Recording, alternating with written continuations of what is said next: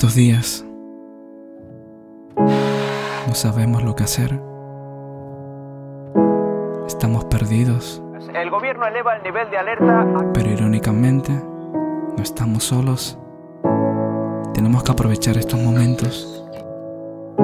Aprender. Practicar.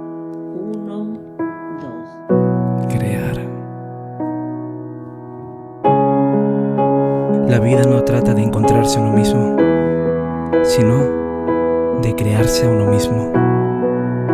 No pienso en toda la desgracia, sino en toda la belleza que permanece.